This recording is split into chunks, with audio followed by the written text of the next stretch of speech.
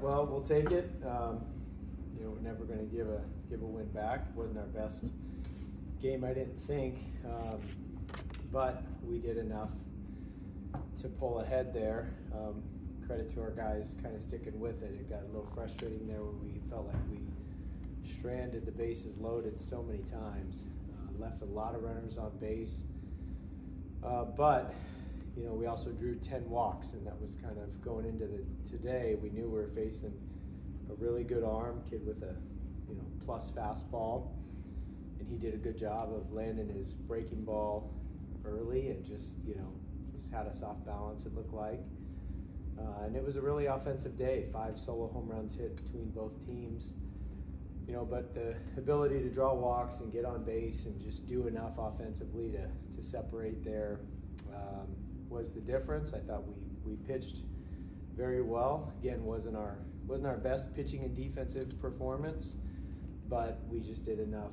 We did enough to win, and that um, and that was good to see our guys kind of stick with it, not get frustrated, and just keep having quality at bats, keep finding their way on base. So we ended up with you know 10 hits, 10 walks, a hit by pitch, uh, and ended up with eight runs, which is a, a, decent amount of runs. But it just felt like one of those games where we could have really blown it open. Um, so that's just not the way not the way it worked out. But uh, you know Tristan Smith uh, settled in. He's got a little rocky there in the first inning, but did a good job of of settling in. And he's got a premium fastball and gets a lot of swing and miss on his fastball. And when he, you know, his his first, I think 10 or 15 pitches, wasn't throwing very many strikes, but then did a much better job as the as the outing went along, throwing a lot more strikes. And uh, for a guy like him, he's got the stuff. So when he's in the zone, he's tough to hit. Then Nick Clayton came out and did his thing, and and Lucas Mahlstedt did it did a nice job as well, getting double plays. Uh, Jacob Hinderleider played great defense at third base. That backhand short hop pick in the you know, early in the game saved some runs had a two-run double himself. But uh, all in all, I, you know, it was, it was, it was just a you know it was just, just a a decent game. Not you know we didn't play poorly, we didn't play great, but we just did enough to win, and we are able to separate a little bit. Uh, so I'd like to see us do a better job with runners on base tomorrow, and and uh, give ourselves a chance for more big innings. But we'll certainly take it uh, and look to play our best baseball tomorrow, and it should be a good matchup. Again, that's a very good team. Questions for players? Jacob, how good did it feel to make your first start here today at Clemson and uh, post your first two hits and a couple of ribbies?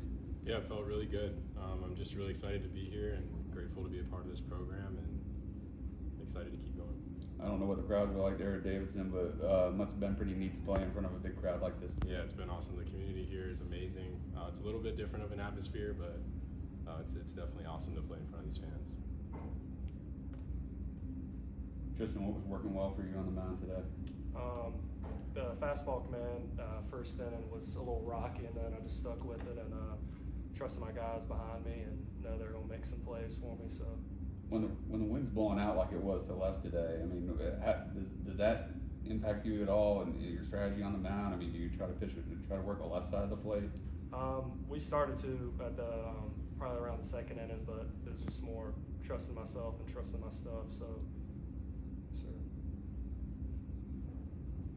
What are you guys telling each other in the dugout when you're not getting those hits with runners in scoring position? How do you stay in the game? Yeah, I mean, just just keep at it, keep trying to compete as well as you can, and do what you can to contribute for the team, and not let you know missed opportunities take away from the next ones that you know you're going to get. So it's just keeping your foot on the pedal and just keep competing. Tristan, what was the biggest thing you worked on in the off season to try to take your, your game to the next level? Um, it was more of uh, just working working my two other pitches, my changeup and my slider. So I've been uh, I've still have a lot to improve, but um, just as the season goes on, I'm, I'm gonna keep on getting better and keep on working and trusting trusting the guys behind me. So sure. Any other questions for the players?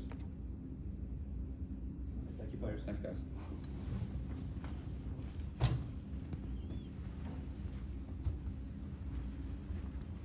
Yeah, another shout out to the to the DKS crowd. Another crowd of 5,000 uh, plus. So that's it's huge. It, it um, you know getting them in, engaged and getting them into it. And, just to in sync that synergy with whatever's on the, you know, on the uh, video board. I think we saw the heat is on for bases loaded like nine times today. Just could never quite, you know, get that big bases clearing. Uh, but the crowd is there, and they they help us. It's such a such a huge help. So uh, really appreciate everybody coming out. Coach, when Nawrocki is hitting like he is, um, I, I guess you just leave him in the nine hole, right? Don't mess with it.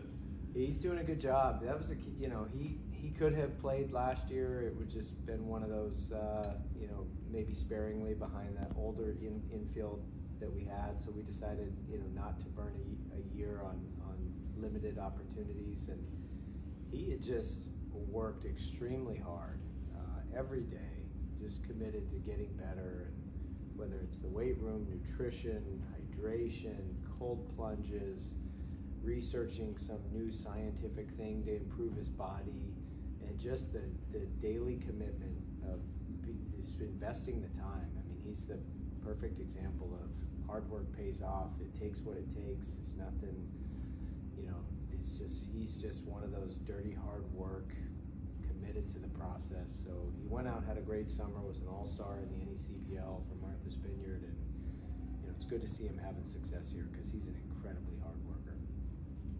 Any update on Gerald?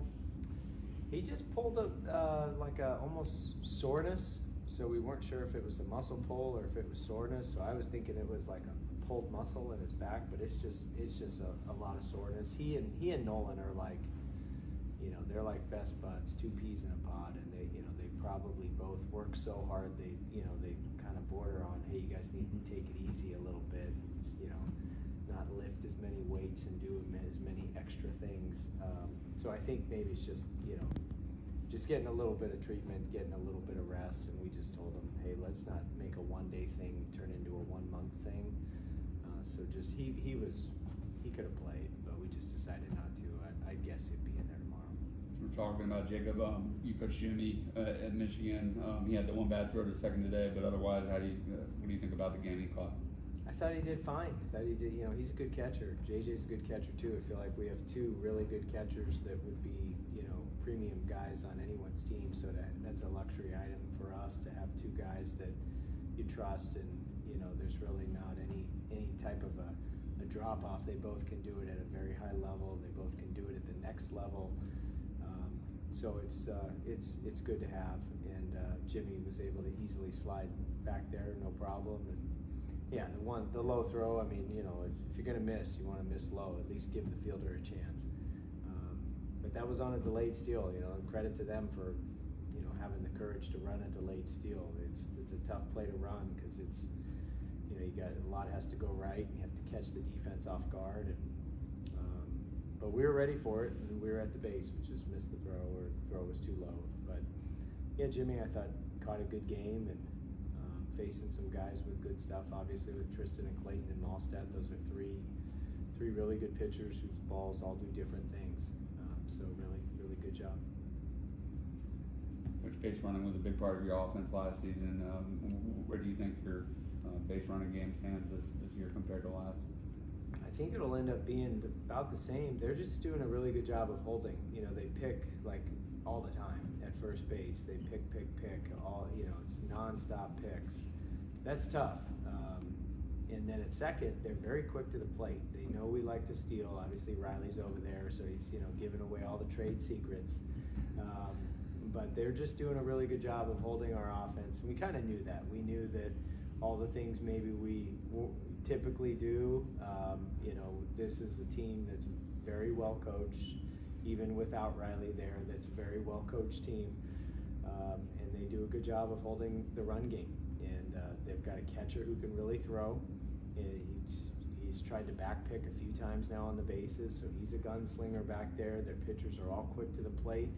And that's what I mean by having a balanced offense. You know, you just have to be able to be a run scoring offense that can score in multiple ways. So we may not be able to steal bases against Xavier, but that doesn't mean we won't use it against somebody else. Um, so we've been, you know, we've been swinging the bats pretty well, um, showing the, the power that we have. Uh, but we've got to also execute with runners in scoring position. Again, no matter who we play, that's just got to be a staple. It's nice to be able to steal a run on a pick though, at least.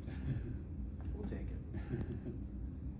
Coach, uh, Nick Clayton, you know, gave up the two homers, but otherwise pitched pretty well. Um, what do you think he's done in the offseason to kind of take that next step? He had a great season out of the pen last year. Yeah, well, he's you know he's built up, so he's built up to go three innings like he did today. That was did not stress him. He's he's you know can and he was able to do that last year too, but maybe not hovering around 88, 90 miles an hour like he was. So he's added some strength, some velo. He's got the durability, so he can do that. He can be a long inning type or a um, yeah, he can go multiple innings in the game uh, and do a little more long relief than short relief. He's one of those guys who can go in in the game in the sixth and finish it. Um, but I thought he did a really good job. You know, if, if the wind was blowing yesterday or today like it was yesterday, maybe he gives up no home runs. Um, but um, and then maybe we don't hit, him, uh, hit them either. But it was just an offensive day. But I didn't think they were bad pitches. I thought that more of the hitters did a good job working underneath the ball. Anything else, Coach? Thank you, Cool. Coach. Thanks, guys.